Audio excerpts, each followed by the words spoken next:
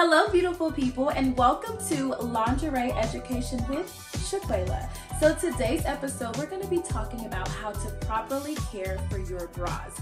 Now, hand washing is the best way to clean and care for your bras. It helps them last longer and, in return, helps keeping you looking fabulous for longer. Now, it won't take long, only four easy steps. So because I'm at home, I'm going to be using my quick pro tip is to remember to separate even your bras into colors, okay? So separating your lights and your darks, just like you would when you do your normal laundry. Our first step is to add lukewarm soapy water.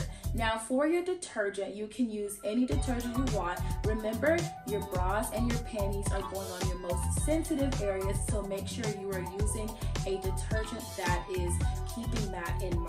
Step two, add the bra into the soapy water and let it soak for 10 minutes.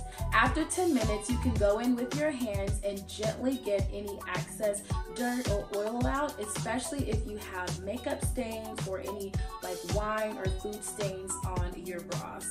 Step three, we're going to rinse, okay? We're gonna rinse with lukewarm water. Okay, you're gonna make sure you get all of the soap and all of the, you know, dirt and things out. Make sure it's nice and clean, no more soap on it. And last but not least, step four. Step four is actually the most important step out of them all. You wanna make sure that you are air drying your bras. Now you can either lay them down on a towel and you're going to gently pad through and get some of the excess water off and you can keep them on the towel overnight or what I do I like to hang dry my bras so I'll just hang them up on these clips and if there's any excess water that drips down all you have to do is just put a towel underneath and it'll catch it like that. So there you have it, beautiful people. These are the four steps of how to properly wash and care for your bras.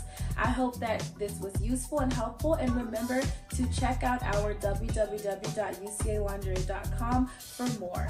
Until next time, stay beautiful. Love you.